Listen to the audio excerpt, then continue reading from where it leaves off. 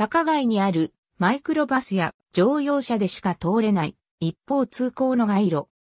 道路としては東側の初南地と西側の薄北スクリン道を結んでいるが、西辺街からは西向きに薄北スクリン道までと西辺街から東向きの初南道までがそれぞれ一方通行になっており、通り抜けはできない。もともと第四街と呼ばれていたが、四の字を嫌う中国の習慣から当局によって現在の名称に解消された。高街には1400戸以上の集合住宅が立地している。西へ晩酌総合大楼の建物。2006年。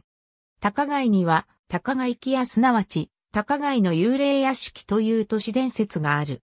高街には1892年に建てられた精神病院があった。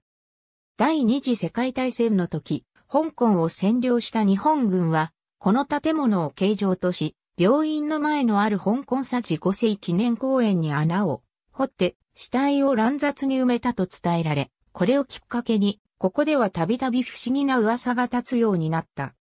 戦後は再び精神病院になったが、当時の医術は今日ほどは進んでおらず、精神病の患者にとって入院は死ぬも同然だったため、この建築物の恐ろしさはさらに増した。